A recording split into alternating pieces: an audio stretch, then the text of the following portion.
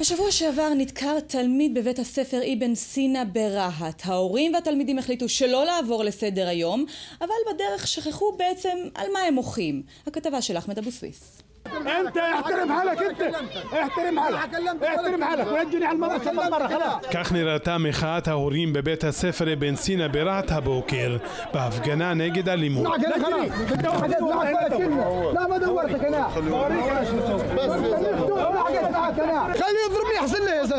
زلمه خليه يضربني احسن لي خليه يضربني انا حكيت معهم بينهم كلهم قال يوسف ليش هنا ביום רביעי שעבר נדקר התלמיד הזה על ידי תלמיד אחר שהגיע מחוץ לבית הספר.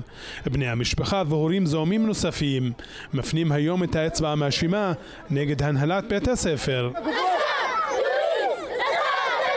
רוצים שה, שהאמת תצא לאור, הם לא צודקים מה שהם אמרו, שום דבר לא נסגר. אנחנו התרענו בפני הנהלת הבית ספר על הדברים האלו בעבר, וגם היו, היו דברים מעולם ומקרים, והם לא שמו לב לזה. אחרי כמה דקות נכנסו לתוך הבית ספר ונתנו דקרה לילד. היה יכול לקרות לו דברים גם יותר גרועים.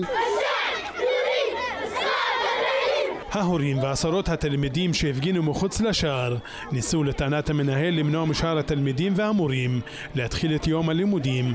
בשלב הזה מחליט המנהל להתערב בעצמו, דבר שגרר אלימות מילולית בינו לבין ההורים. כל אחד יכול להאשים מה שהוא רוצה, מה שמנחה אותי, ביטחון וטובת התלמידים. ביטחון התלמידים זה שלי, חשוב לי, זה אני יכול להגיד לך. במקום לחזק אותנו, לתפוס אותנו יד, לעמוד גם נגד האלימות, הלכו אותנו להפך כאילו. הם לא רוצים שאף אחד ידע מה קורה אצלם פה בבית ספר.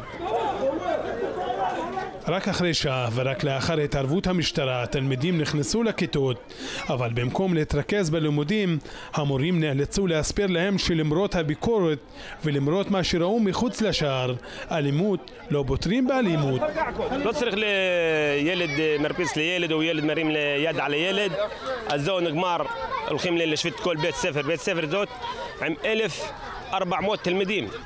אי אפשר אחד ירביץ לשני אז ילך להשוויץ כל בית הספר הזאת. התלמידים כנראה נרגעו כבר, אבל ההורים עדיין כועסים ומאיימים שאם לא ימצא פתרון בשעות הקרובות, הם יפתחו בשביתה וימנעו מילדיהם להגיע מחר ללימודים.